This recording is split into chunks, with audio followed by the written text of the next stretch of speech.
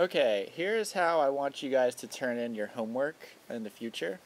Uh, what I have here are my three ads for, my three images for Module 2. So I've got Brian without the mustache, I've got Fanya without the spots, and I've got my advertisement for the third image um, with the wind turbine. So how would I upload these to the class blog?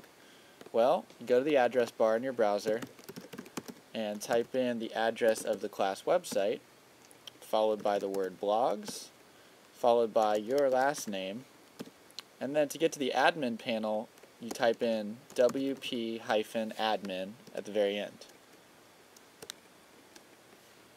And I log in with admin and the password that everyone has.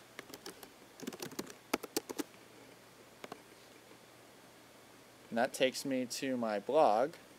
And from here, I'm just going to um, add new post on the left side. Click add new. I'm going to title this module number two, tool challenge. And what I want to do is click on this button right here where it says upload slash insert. So to click on that button. And all I'm going to do is say select files and find where your module 2 is on your computer.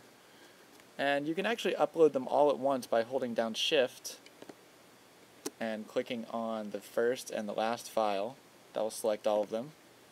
And from here, this is my firewall. I'm just going to say allow, yes. And now it's going to upload the images.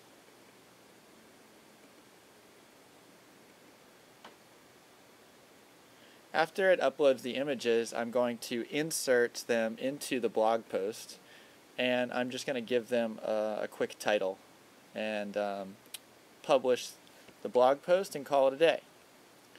So first I'm going to insert Brian. I'm going to click that show button. I'm going to scroll down. I'm going to keep it on medium right here.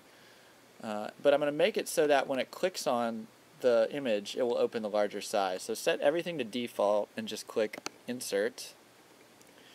And the dialog box disappears, so we have to do it again a second time. Add an image. And instead of going here to select files, click on gallery up at the top. There we'll, we'll see the three files we just uploaded. And I'm going to click show next to the Fanya image and insert. I'm going to do that one more time. Gallery, show, Oh, we already inserted Brian. We need the wind turbine. This one.